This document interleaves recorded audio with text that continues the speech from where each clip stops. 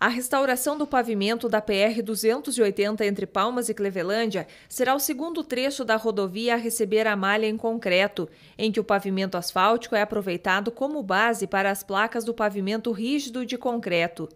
A obra terá investimento de mais de 188 milhões em 45 quilômetros entre os dois municípios.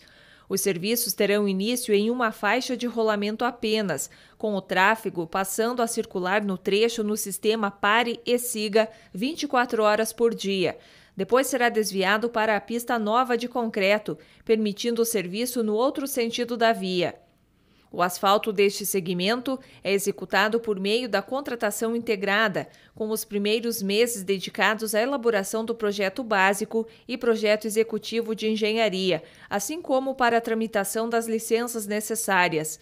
Após iniciados os serviços, a previsão de conclusão é de 360 dias.